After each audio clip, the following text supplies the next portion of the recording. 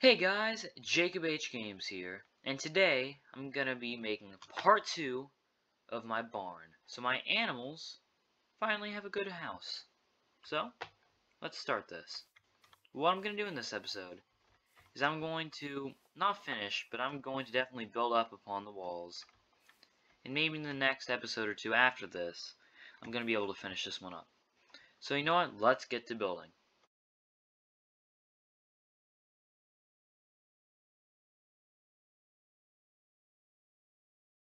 Okay guys, I was just building a bit, and I think this is a good spot to end it. I'm out, well, nearly out of red concrete, gonna have to get some more off camera.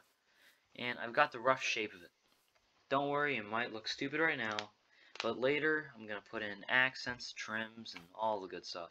So stay tuned. Thanks for watching. Hope you enjoyed. Bye!